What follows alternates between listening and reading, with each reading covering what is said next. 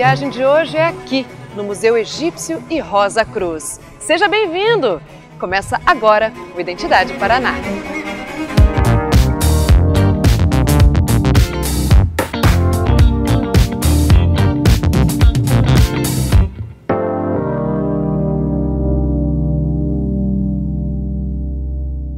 Muito bem, estamos aqui no Museu Egípcio e Rosa Cruz para conversar com o grande mestre Hélio de Moraes e Marques. Seja bem-vindo, Hélio, tudo bem? Obrigado, Jane, tudo bem.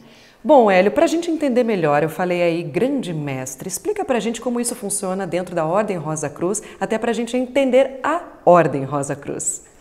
Tatiana, a ordem é dividida por jurisdições idiomáticas. Então, nós temos grandes mestres no mundo inteiro, e alguns para a região da parte da Ásia, para a Europa, mais de um, por conta das, dos idiomas. Temos de língua italiana, de língua inglesa, de língua alemã, eh, holandesa. E, enfim, temos também na Ásia, Japão, Austrália, e, e Australásia, enfim, temos no mundo inteiro. A minha área, como eu sou grande mestre de língua portuguesa, contempla Brasil, Portugal, Angola, Moçambique, Goa na Índia, onde se fala o português. Nós temos eh, núcleos para as atividades Rosa Cruz e o maior eh, núcleo, maior concentração de núcleos é no Brasil. Vamos entender então a Ordem Rosa Cruz, como que funciona, qual é a ideologia de estudo, pensando sempre no ser humano como ponto principal e a sua evolução, né? É. Na verdade, Tatiana, a ordem tem uma proposta que é um misto de uma educação do ser humano para que ele possa fazer um aproveitamento mais pleno das suas potencialidades que estão no seu interior, que nascem com ele. Essa proposta é feita através do conhecimento e através de um processo iniciático, onde os seus membros estudam lições, que nós chamamos de monografias, e essas monografias têm um encadeamento lógico, têm um encadeamento sequencial, que estruturam essa visão é, ampliada do conhecimento do ser humano, do conhecimento da alma do ser humano e a união desses dois aspectos da relação de ambos com o divino, com Deus, com a divindade. Isso tudo faz parte do contexto dos ensinamentos Rosa Cruz. Eu não chamaria de ideologia, mas eu chamaria de um conjunto de ensinamentos que são aplicáveis também, Tatiana, na vida das pessoas. Você não precisa, vamos dizer, é, desenvolver o seu potencial para que você fique somente em casa sem aplicar. O trabalho Rosa Cruz é absolutamente pragmático e também desenvolve o ser humano na sua espiritualidade falar um pouquinho do museu. É um museu muito bonito, desde que você bate o olho na entrada dele já brilha os olhos. É um cuidado muito grande que a gente percebe em todos os pontos do museu. Quem vier visitar o Museu Egípcio Rosa Cruz encontra o que, Hélio? Bom, o atual museu, nós temos uma múmia autêntica, que é a Tutimeia, que após aquele infeliz acontecimento na Universidade Federal do Rio de Janeiro, que aquele fogo queimou as múmias, acabou se tornando uma das poucas múmias aqui no nosso, no nosso país. Além disso, toda a forma historiográfica como está composta essas imagens mostram a visão do Egito sobre a vida, sobre a natureza, inclusive da sua relação com o divino. E isso é, é essa parte desse museu. Mas, se facilitar para você, nós vamos ter um outro museu. É verdade, tem coisa nova chegando por aí, muito em breve, né, Hélio? É, na verdade, é, esse outro museu, ele é um pouco mais amplo, porque ele foi concebido pelo arqueólogo que todos conhecem aí, quem viu o Discovery Channel e a, National Geographic, uhum. que esse novo museu foi concebido pelo professor Zani Hawass. Esse nome é conhecido. É, é, é, o Homem do Chapéu, né? E ele fez um projeto em parceria com, com um escritório especializado nisso, que faz museus para a Alemanha, o Laboratório Rosso, na Itália.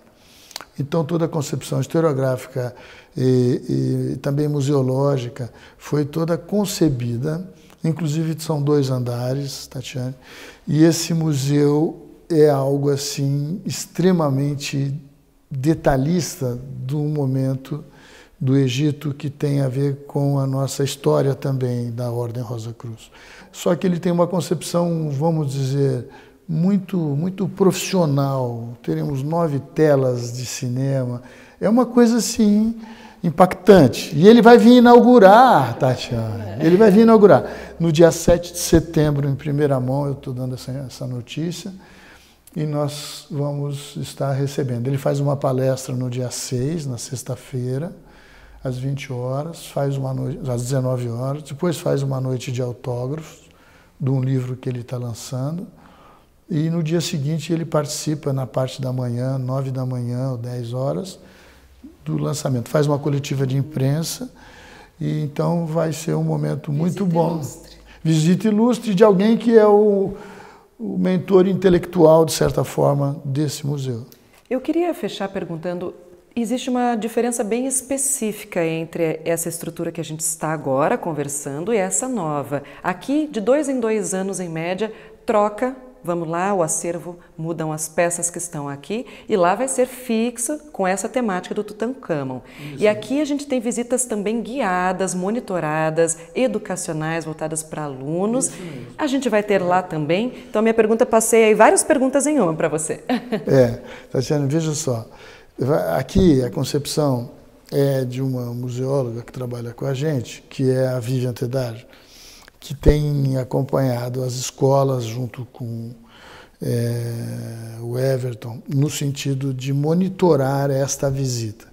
Lá, para dizer a verdade, nós vamos ter um planejamento dessas visitas e são dois andares, é uma coisa um pouco mais longa e que vai ser é, desenvolvido a partir do momento que as peças que já estão aqui estiverem alocadas no museu. Mas ele acho que a melhor maneira da gente mostrar para quem está em casa entender esse museu tão bonito e com tanta história é vindo, né? É é então eu gostaria que exatamente, eu gostaria que você, grande mestre, convidasse a quem está curtindo a nossa programação aqui na Paranaturismo, no Identidade Paraná, para vir prestigiar, conhecer o museu.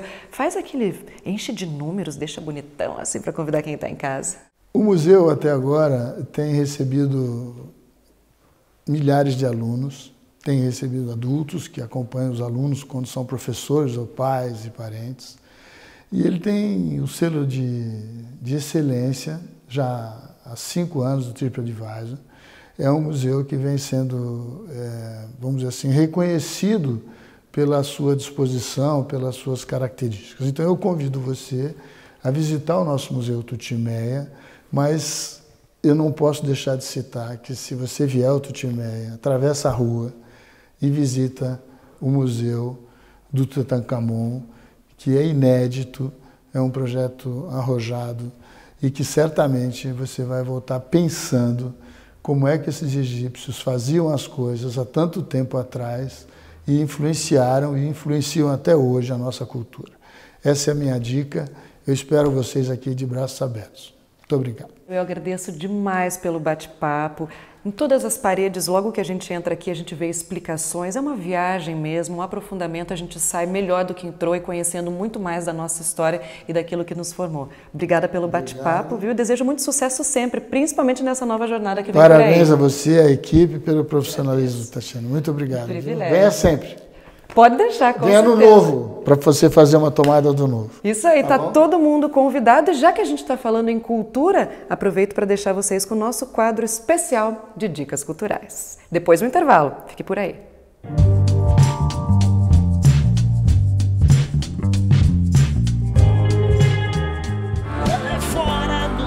O cantor Paulo Ricardo apresenta sua turnê On The Rock no interior do estado neste fim de semana.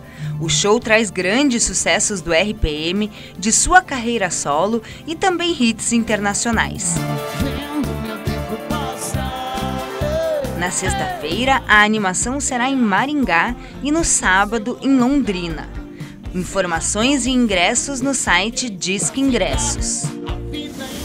Museu da Imagem e do Som do Paraná homenageia o cinema musical durante todo o mês de junho. A ideia é resgatar o gênero com grandes clássicos, entre eles a comédia musical sarcástica Sinfonia da Necrópole. A mostra vai até o dia 27 de junho e a programação completa você confere no site do MIS.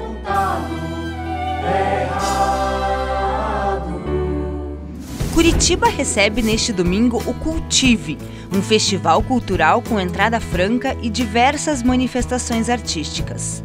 O público também poderá participar das atividades com mural de poesias e quiz de perguntas sobre cultura popular.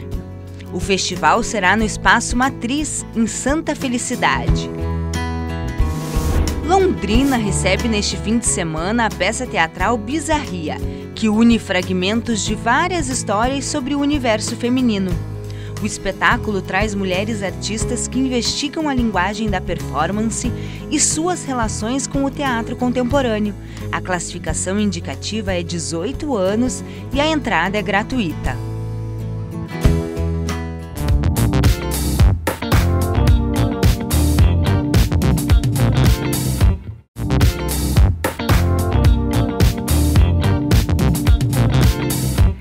Estamos de volta com Identidade Paraná, aqui no Museu Egípcio Rosa Cruz. Mas o assunto agora é a peça Vário.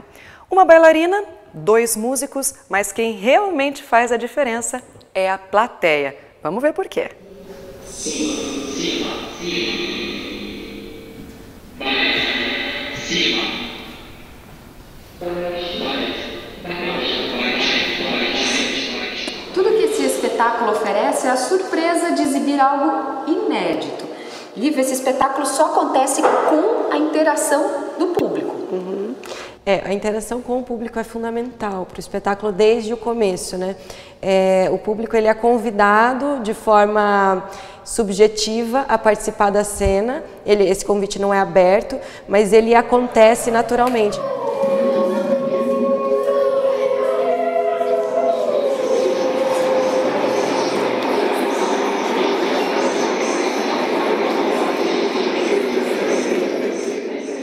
Um ambiente onde eles se sintam à vontade a estar presentes, né? E a, tanto a ambientação sonora quanto a dança, elas acontecem a partir da relação. Então é sempre um espetáculo diferente mesmo. Essa, essa questão do, de ser inédito, a gente nunca sabe o que, que vai acontecer, porque é a partir da relação com o público que a cena se cria. Você tem em cena também dois músicos, mas a trilha precisa desse complemento que vem da plateia. Sim, é, o Daniel Amaral e o Maxon Abreu, que são os músicos que criam junto comigo o projeto, né? Eles pré-organizaram algumas sonoridades que a gente trabalha desde desde muitos meses, a gente vem trabalhando nisso. E daí elas, essas sonoridades elas são colocadas no espaço através dos sensores e daí a partir disso o público ele vai escolher como que eles criam essa ambientação, é, como que eles se colocam em cena, como que eles interagem com a cena. Mesmo se tratando de um, uma apresentação de improviso, vocês dividem em etapas, é, em blocos, como é que vocês estruturam esse uhum. espetáculo? É, o espetáculo ele tem, ele é dividido na verdade em duas partes. Primeiro, tem uma dinâmica que acontece, o público, desde o começo, ele está ele tá junto, né? Então, no começo acontece uma dinâmica, onde os sons gerados, eles são a partir do microfone, e todos os sons eles vão criando uma ambientação que depois eu vou trabalhar com ela no movimento e daí a segunda parte é quando entram os sensores que daí o público interage também a partir dos sons mas de uma outra forma né de texturas diferentes vão surgindo é, composições diferentes vão surgindo e daí o público também a partir dessa tecnologia ele também se sente aproximado da cena Quais os desafios e quais as surpresas que vocês já tiveram? Já tiveram uma temporada na Casa Hoffman e esse primeiro contato com o público, como é que foi? Nossa, os desafios e as surpresas. É, os desafios, eu acho que o desafio maior sempre vai ser a imprevisibilidade. A gente nunca sabe o que, vai acontecer. E isso é um, uma surpresa também muito boa, porque é nesse lugar que a gente se propõe a estar, né? Essa instabilidade que a gente se propõe a estar da relação porque a gente não prevê tudo, né? Na vida a gente não prevê. Então é muito legal a gente colocar em prática e em cena uma experiência onde as pessoas possam viver isso. É, é isso que também a gente procura discutir, né? Na prática, uma construção em tempo real, uma, um diálogo em tempo real, a partir da colaboração e a partir principalmente das diferenças.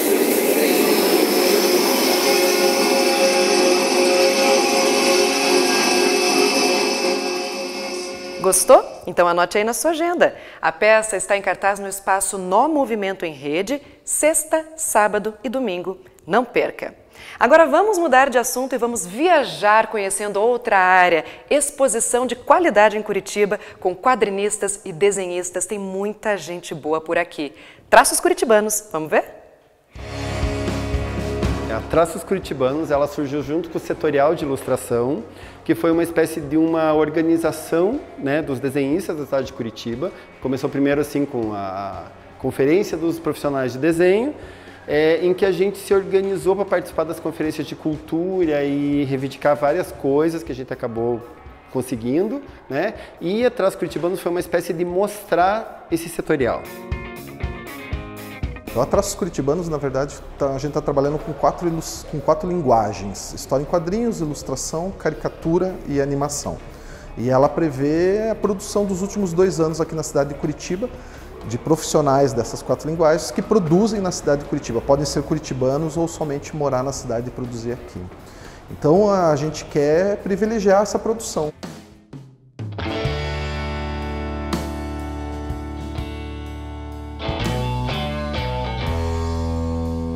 Exposição Atrás dos Curitibanos conta com quatro curadorias, né, que seria é, de ilustração, quadrinhos, animação e caricatura e cartoon, que é a minha curadoria. Né? Então, é, e nisso a gente pega os melhores, é, os, os, melhores caricaturistas, ilustradores, quadrinistas. Né? As principais regras, digamos assim, né, para participar da Traços, é o fato produzir em Curitiba, né, não precisa ser nascido em Curitiba, mas você está produzindo na cidade de Curitiba, é, e também a produção dos dois últimos anos, ou seja, desde a outra edição.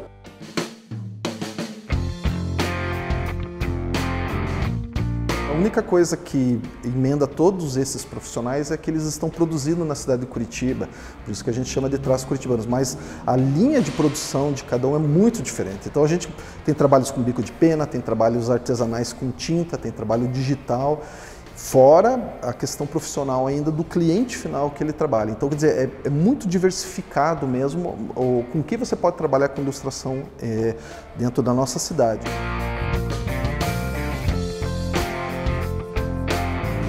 Partir da edição de 2017, além da exposição principal, a gente começou a fazer algumas exposições paralelas dentro da Traços Curitibanos.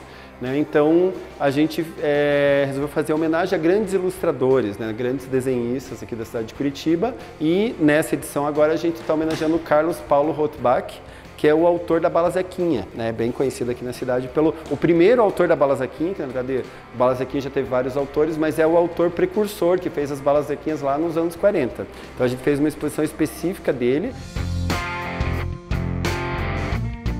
A gente tentou diversificar dentro da linguagem da ilustração, pegar profissionais de várias áreas da ilustração e esses 35 nomes estão representando a nata de qualidade de produção dentro da cidade de Curitiba.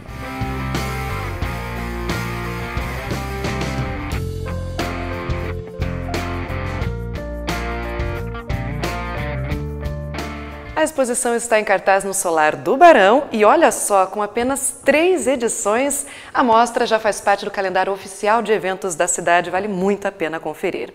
A gente vai para um brevíssimo intervalo, mas antes, fique com o nosso quadro Compartilha.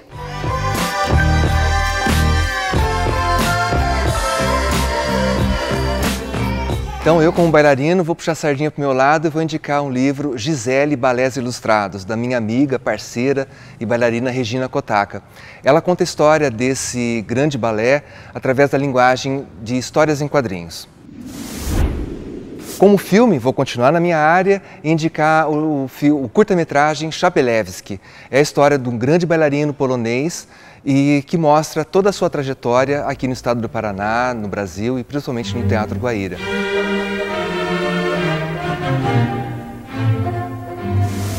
E um grande lugar, Buraco do Padre. Fica lá em Ponta Grossa e é lindo de se ver.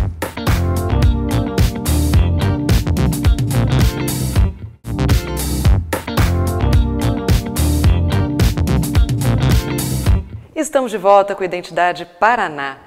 Nós estamos sempre atentos e acreditamos no poder transformador da arte em todas as suas formas. Por isso, a gente preparou uma matéria especial que mostra para você duas iniciativas de grupos de teatro que levam oficinas e espetáculos para plateias especiais. Dá uma olhada. Eu faço o Cássio, que é o motorista do ônibus. Então eu sou aí responsável para conduzi-los do ponto inicial até o próximo local com segurança e com muito afeto. O palco sobre rodas funciona dentro de um ônibus. É assim que o grupo Teatro do Concreto de Brasília percorre o país. Eles conduzem o público numa viagem de três horas, com o espetáculo Entre Partidas. Então, aqui está à esquerda de vocês, é uma casa de madeira verde, tem uma escadaria que dá acesso a ela. Os personagens fazem reflexões sobre a passagem do tempo e, de maneira poética, reforçam que a vida é feita de encontros e instantes. O concreto ganha com isso essa possibilidade de estabelecer um diálogo muito afetuoso com todo e qualquer espectador, porque eu acho que o nosso desejo é esse, é a, o desejo de todo artista é poder encontrar com o seu público nessa imensa diversidade. Ele está usando agora, ele está com o figurino da Dona da Noite, que é um casaco de pele, marrom, bem escuro, e uma saia de tule, mas tule todo rasgado, manchado, sujo. As encenações acontecem em diferentes espaços. Escolas também recebem a visita da trupe, que oferece ainda audiodescrição para deficientes visuais. A gente tem uma relação muito próxima com o teatro e com a escola, então a maioria começou ter acesso ao teatro na escola e a gente viu a diferença que isso faz na nossa vida, né? Então a gente acredita muito na mudança, a gente acredita muito na cidadania, na construção de um pensamento através da arte. Deus salve todas as belezas corajosas e proteja o coração dos vencidos. Reza forte, Elisa Lucinda. A gente tem histórias já muito, muito tocantes é, dessa relação. E para o espectador que vê, o espetáculo se torna também um espaço de convívio, né? de conviver com essa diferença também, de poder dar o ombro para o colega espectador também acompanhar o espetáculo e se sentir mais, mais apoiado para transitar pela cidade. Tem uma cena que um dos atores ele presenteia o outro com um urso de pelúcia. E uma mulher né, cega no, durante a cena, ela, ah, mas eu queria ver também, você me deixa ver? E aí o ator colocou esse ursinho de pelúcia no colo dela e ela foi apalpando o ursinho. E aí ria e falou, ah, é bonito mesmo, achei muito bonito, também gostei. Então acho que traz outra tônica, é outra experiência, né? Eu acho que você tem uma diversidade também de espectadores, a peça ganha com isso porque ela ganha em humanidade. Todo mundo tem que ter é, o direito de de ir a uma peça de teatro ou ter acesso a certas coisas, né? independente de qualquer coisa. A Avilola Espaço de Criação também se dedica à formação de plateia e vai aos lugares mais distantes da capital. Durante parte da última temporada de apresentações, eles organizaram oficinas e palestras gratuitas nas cinco regionais da cidade. Neste encontro, os participantes tiveram lições práticas sobre a relação da música com o universo cênico.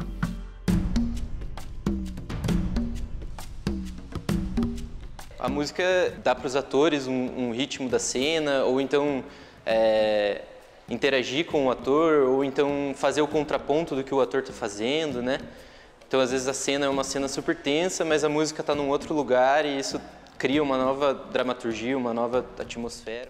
Ela muda o estado assim que a gente está, como a gente se sente, mas também eu acho interessante, mesmo que é uma música que transmite medo, você conseguir transmitir no teatro uma outra coisa com isso. Então, não usar ela de uma forma clássica, mas de uma forma mais variada.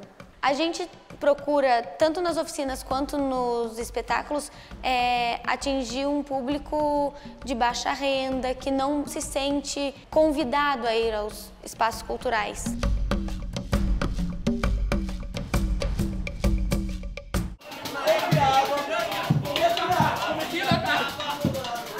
O acesso aos espetáculos também foi de graça para o público dos bairros mais afastados. Um ônibus fez o transporte de grupos de estudantes e idosos da periferia, como esta turma de Santa Felicidade. Dona Ema, de 86 anos, veio acompanhada da Berenice. As duas estavam animadas com o passeio. É sempre uma coisa nova, é sempre uma coisa que vai ter, ou ela vai ter o que contar e eu também. É a primeira vez, né? Eu vou assistir para conhecer. O primeiro contato com o teatro é um momento mágico para plateias de todas as idades. A peça A Pequena Abelha e a Árvore Alta contou a história de uma comunidade ribeirinha da Amazônia. E as pessoas douradas daquela Manaus de 1800 e tanto ficavam ainda mais coradas. Impossível não se envolver com esta iniciativa de generosidade e amor à arte. A gente aprender uh, a cultura, né? Que é importante e está assim, como é que é? No, uh, vendo o que acontece né, no, no, meio artístico, porque só novela também não dá, né? Então faz bem para a gente participar. Sim, com certeza. Encontros inesquecíveis para os dois lados desta relação. Quanto mais a gente consegue entrelaçar essas realidades múltiplas para nos nutrir como artistas, melhor para a gente, para as próximas obras. Então a Velola quer, deseja, trabalha para que um público heterogêneo em idade, é, lugar social, é, lugar de morada, possa conviver aqui dentro. Ter acesso à arte é ampliar a visão de mundo, é como se a arte ela abrisse um horizonte que nos torna é capaz de oferecer e de produzir leituras mais críticas da nossa realidade, de pensar que as coisas não são, elas estão. E se elas estão, elas podem ser transformadas. Belas histórias, quem não mais desertos, desbravar o mundo com a arte e a beleza, quem é? O Identidade Paraná é isso, apresentar para você o que há de melhor na arte e na cultura do nosso estado. Até o nosso próximo encontro. Tchau, tchau.